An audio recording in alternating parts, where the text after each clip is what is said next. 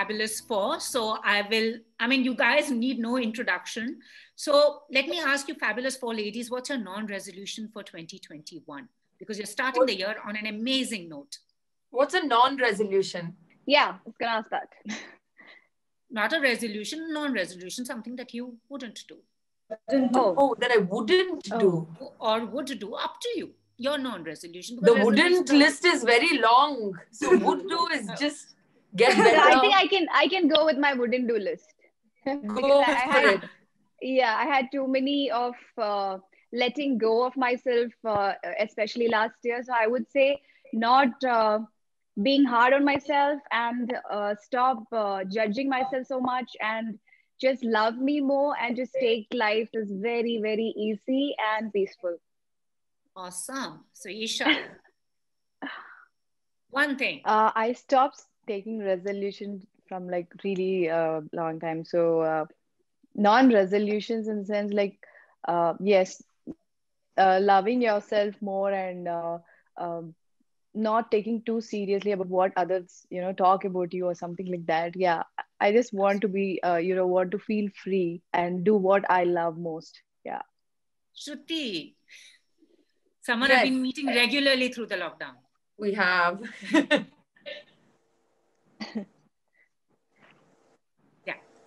What did you say? No, I said someone I've been meeting through the lockdown. What's your non-resolution for the year? One thing. So I think uh, I kind of agree with Amla in saying that you know it's the not things like not being hard on yourself. I think that's important, especially for us as women, and you know the constant uh, influx of opinion and judgment that you get. So I think not to do that to ourselves or to others, that's a good non resolution. and to not eat that much dairy Love it. Saanve. Um, there's nothing really. I think just go with the flow. I don't even want to think so much. that's the best. so that's the best way. And you know, the trailer, seen it. Amazing. Looking forward to this anthology. So do correct me if I mispronounce it. Pita Katalu? Is that okay? Or have I got it wrong? It's Pitta. Yeah, Pitta Kadalu. Pitta, Pitta Kadalu. Okay. Pitta. Pitta, Kadalu. So the what was yeah. it about this anthology before we discuss your characters and in the narratives that you're playing made you for just jump in and say yes? Who should answer first? I'll have to do a roll call. So let's start with the yeah, lady yeah. in pink. Let's start with the lady in pink okay. so I think to simply put it, I love the story. I love the director. I love the platform. Uh, that was the beginning calling. yeah, so that was the first calling for me. So All three things bang on. I'm like, yeah, I'm doing it. Awesome. Eesha, we'll go according it's, to It's pretty much same as Amla said. It's the director's story. Obviously, it's Netflix love stories thing. So uh, I was really excited to be part of this one. Shruti and Saanve, two S's. So I think the, that for me, I've been a fan of the platform and all of the other stuff it's put out. So for me, it was exciting that number one. Uh, but most importantly, uh, the director and the story. Um, I really, really loved um, what the story was saying and how relevant it is. And to have a poignant part in in that narrative was so exciting to me. I've loved Nag, uh, Nagi's work, so I was really excited to work with him. So yeah, just a combination of things. Saanve, what about you? I think uh, to take off from here, I mean, I'm a newbie, so Netflix obviously it delivers such quality content, and to be a part of such a platform, I think it's a blessing. And moreover, I always wished to uh, meet Tharun Bhascker. So I think I got an opportunity, and obviously it feels out of the world, something you wished is happening. And I think it's really a blessing to me. I love it. So let's start with the stories. Amala, let me come to you. Play Meera. And they say a woman hides a lot of secrets, and it's best to see her writing to know what she's thinking. Exciting. But she has a you know, a few cards up her sleeve.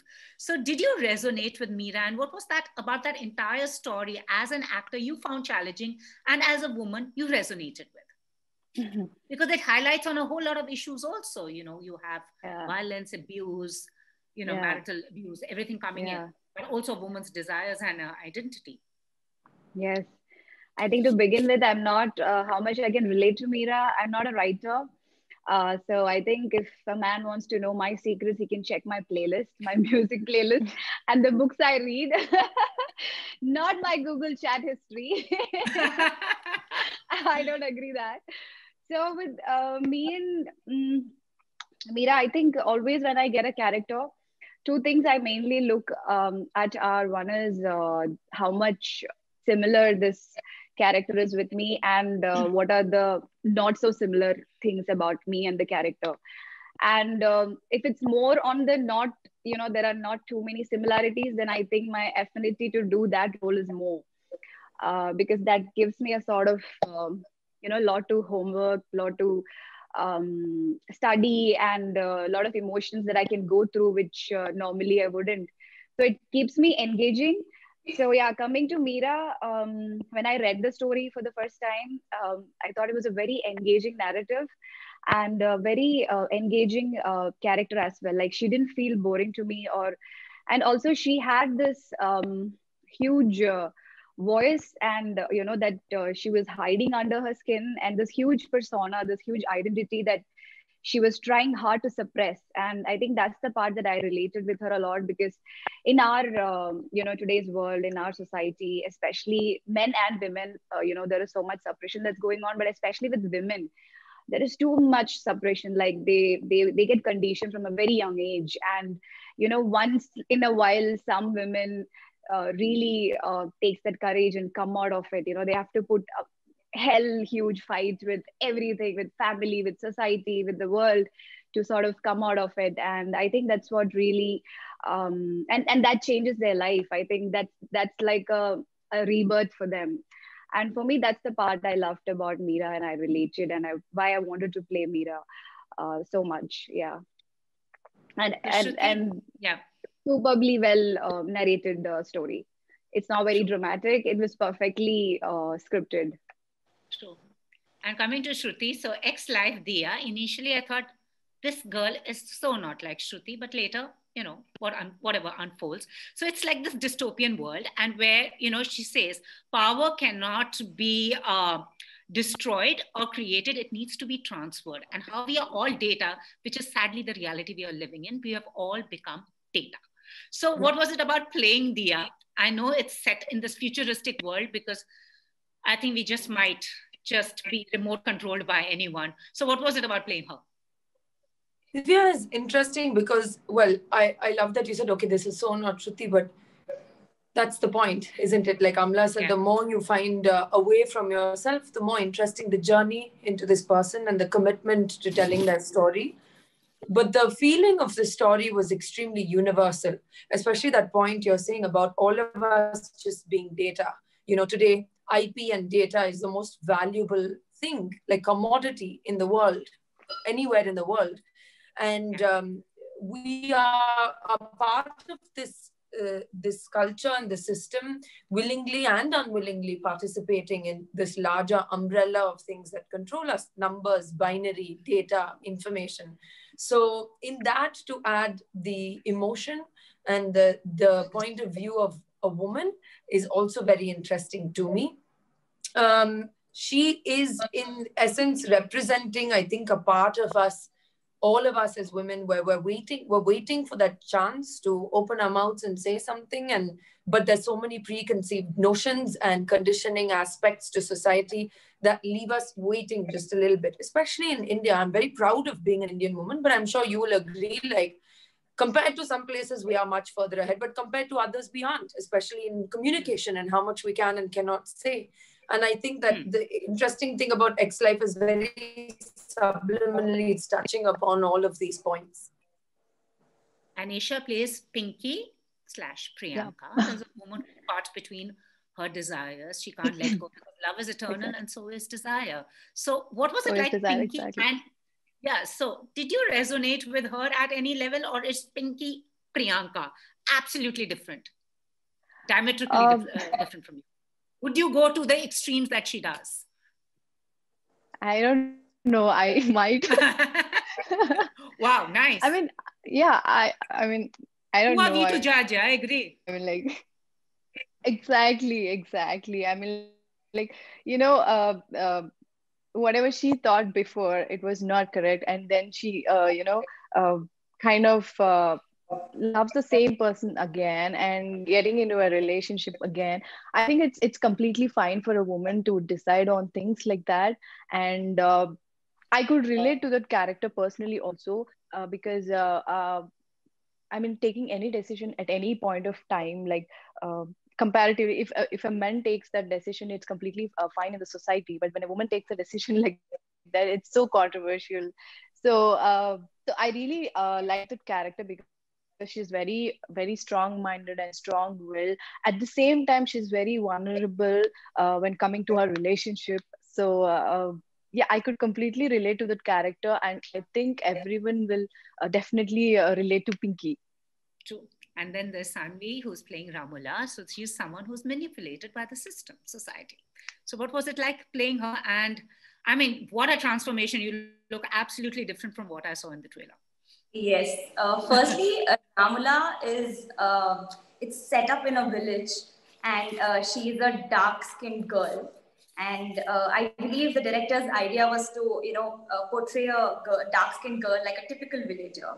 Yeah. And uh, the moment Tharun narrated the story to me, uh, I think uh, uh, throughout the story, I, I, I don't think I blinked much. I was just looking at him because I was very excited. I, I really love I really love two parts about it. That is one being vulnerable and one being hopeful, like we all are.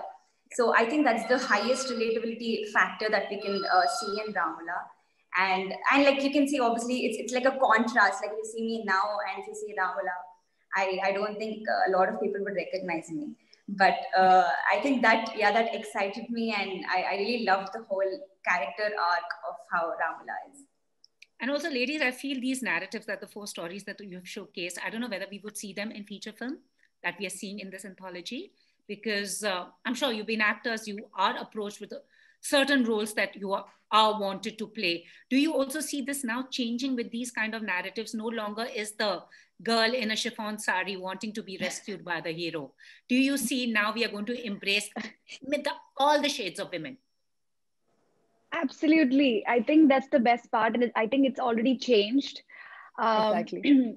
yeah. And I feel uh, this particular story that I did for Netflix, I I wouldn't want to do it as a feature film. I think the best part of it is that you know it's uh, in feature film. What happens is that you know the, there has to be a particular duration and it has to be set in a certain way. Like there is too, too many rules about it, like songs, and it has to have a you know surprise element. There is this division of first half, second half so i think it's much more painless and you know you you are taking a story a, an incident and then you're you know grow, building characters around it and then you are you know putting that out that story for others to watch i think these anthologies the best part of them are you know like how simply it's put across. Like there is no not too many twists and turns or there are no songs. I'm not a fan of having too many songs in movies. So i think if i was given an offer to do this as a feature film i wouldn't have but definitely because of this platform where we can say so many stories in short time is the best part of it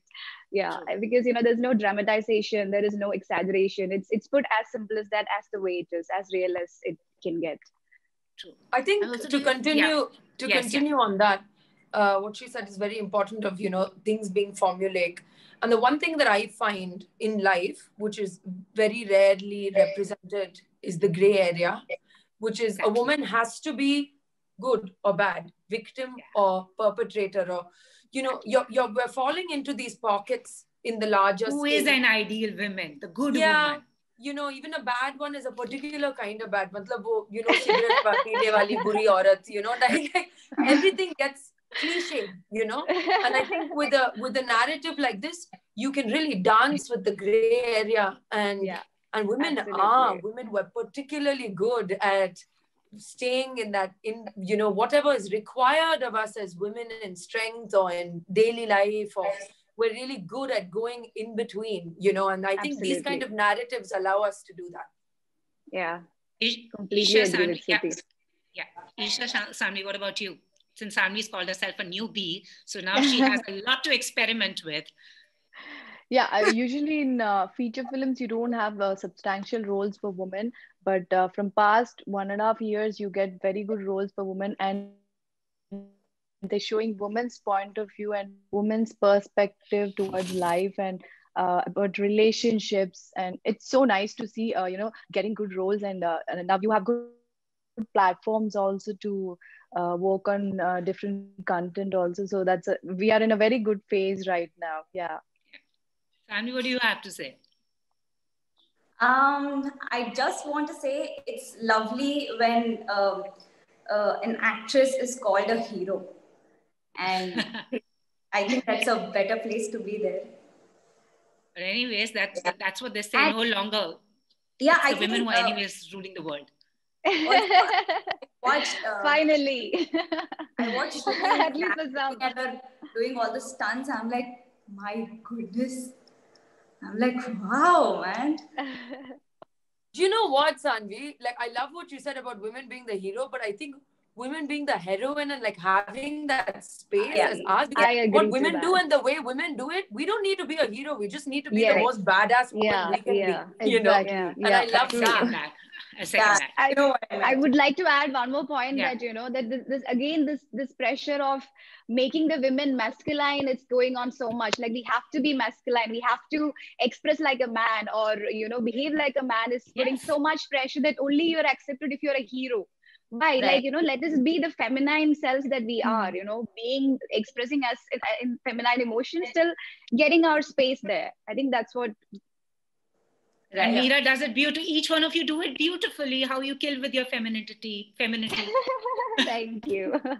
but you know, this is I think the first time we're seeing something like this, and you know, from coming from the Telugu industry, because what usually happens is these kind of stories get moved into the parallel one. You know, that no one. No, no. Whereas I would love to uh, do you know some something crazy like that, like some really dark. So, anyways, ladies, uh, before we wrap up, I which is that one role that you would want to play on your bucket list now you want to be you know seen next in mm, the bucket list is so full i mean want to play all sort of roles i mean it's it's like it's, we can't exactly. really I, I can i can never really pick that because you know every um, every mo- every minute there is some character in my head which I want to play. Like every time I see someone or I watch a movie or I read a book, I'm like, why can't I? Why can't somebody come with a script like this? So uh, there is so much, and uh, I think it's a beginning. I think finally we have this space, and uh, you know, uh, thanks to OTT platforms, we've got this huge space for uh, great content um, you know great storytelling. And i think this is the era of actors. I don't know if this is the era of stars but this is the era of actors you know like Absolutely. a lot of actors who have the courage to go out of their comfort zone and uh, who can adapt themselves and really have passion. I think this is the best time uh, for them. Absolutely. What about the other three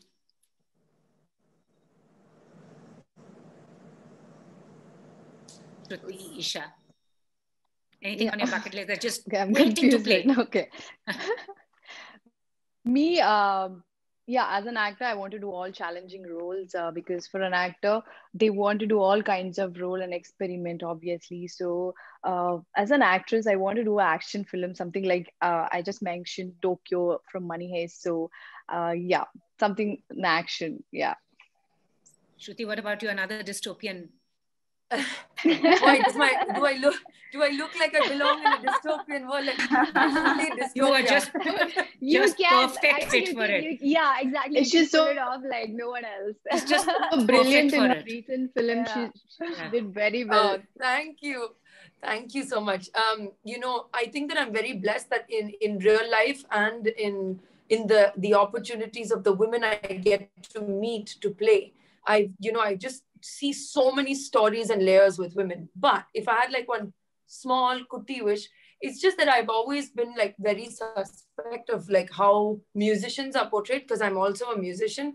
And the journey of how it feels for me to be a musician internally and create music and how much it means, like that's I've very rarely seen translated because music is portrayed in a very like she sat and an idea and then some music happened and it's just you know, it just they, they lose the magic of it. So I would love to play the internal emotional world of a female musician and a broke one in India who tries to sing in English. I feel very personally connected. Wow. Well, basically, your, I think basically your biography or bi- uh, biopic. Yeah, but not not Shruti because you know, I mean, I've been very blessed, Amla, that I had I can pay my bills being an actress. If I was just an independent musician, oh geez, that's like a tragic Greek tragedy. True, true. Saanve, what about you? I think it's similar to what Amla has just said. Uh, that you know, whatever you see, you feel like playing that. So Yeah. I, yeah, whatever. Greedy, abundance. Thank you so much, ladies. So, what would happen? Just Thank this last question, just a last one. Where Meera, uh, Divya, uh, Pinky, Priyanka, and Ramula were to meet, what would it be like? The four of them together. Oh God, that'll be one hell of a meeting for sure. I Yeah. would say brace, brace for impact. Brace for impact. yeah, yeah, yeah, yeah. We'll probably Yeah, exactly. and uh, yeah, just uh, I think it'll be electrifying. Absolutely. Eesha, what about you? Stunned and shocked. Thank you so much, ladies. Thank you so much, ladies. All the very Thank best. Thank you so much. Thank more you. power to you. Want to see Thank uh, you. more such narratives. Thank you so much. yes, Thank you. thank you, thank you so much. Bye. Bye. Bye.